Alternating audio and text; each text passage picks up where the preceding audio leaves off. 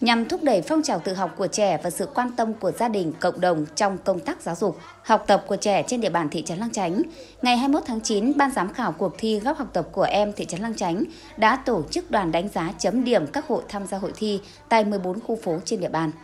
Đây là năm thứ hai thị trấn Lăng Chánh tổ chức cuộc thi góc học tập của em. Thông qua hội thi nhằm nâng cao tinh thần đổi mới, sáng tạo trong học tập, thi đua học tập tốt, rèn luyện chăm, thực hiện tốt phong trào thiếu nhi thị trấn thi đua làm theo năm điều Bác Hồ dạy, góp phần lưu giữ những hình ảnh đẹp, lan tỏa tinh thần học tập đến toàn thể học sinh trên địa bàn thị trấn Lăng Chánh, rèn luyện cho các em học sinh trong toàn thị trấn biết cách sắp xếp góc học tập của mình một cách gọn gàng, ngăn nắp, giữ góc học tập sạch sẽ, đồng thời thu hút sự quan tâm của đông đảo phụ huynh và học sinh, tạo ra sân chơi lành mạnh, bổ ích, giúp các em học sinh có cơ hội giao lưu học hỏi và trải nghiệm, góp phần phát triển toàn diện cho học sinh, đồng thời giúp các bậc cha mẹ quan tâm hơn nữa tới các con cũng như tạo điều kiện tốt nhất để các con học tập.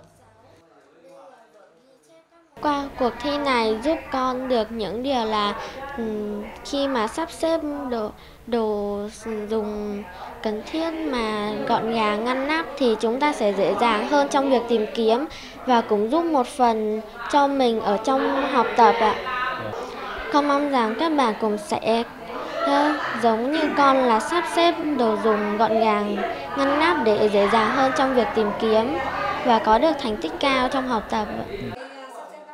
Tại buổi chấm thi, ban giám khảo đã đánh giá chấm điểm các góc học tập của thí sinh tham gia dự thi. Các em đã giới thiệu được hình thức, màu sắc các học tập, góc học tập có ý nghĩa như thế nào với em, cũng như ý tưởng của phụ huynh học sinh khi xây dựng các học tập đó. Theo đánh giá ban đầu, các góc học tập đã thể hiện được các yêu cầu như sách vở, tài liệu được sắp xếp gọn gàng, ngăn nắp, sạch sẽ, khoa học, có bàn học, ghế ngồi phù hợp với từng độ tuổi, cấp học, có đèn học, góc học tập có trang trí ảnh cá nhân hoặc ảnh gia đình, ảnh của các nhà khoa học mà em thần tượng, có trang trí cây xanh phù hợp với không gian đảm bảo sức khỏe.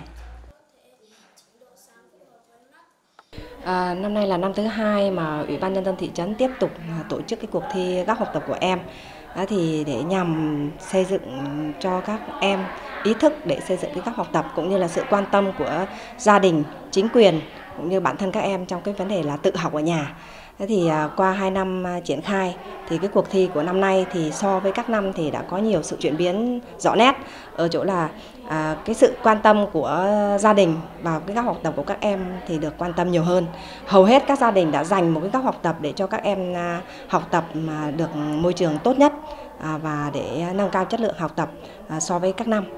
Có thể nói các học tập như thế giới thu nhỏ của mỗi em là nơi giúp bổ sung củng cố thêm những kiến thức, luôn sáng bừng ngọn lửa tri thức đã tiếp thêm cho các em học sinh nguồn động lực lớn, tạo cảm hứng học tập. Mỗi góc học tập mang một sắc thái riêng, đó là cách trang trí sắp xếp góc học tập sạch đẹp, gọn gàng và khoa học, có đầy đủ đèn học, bàn học, ghế ngồi, đặc biệt là được trang trí cây xanh phù hợp với không gian, đảm bảo sức khỏe. Một số em đã biết sáng tạo, sử dụng đồ để trang trí góc học tập của mình thêm sinh động.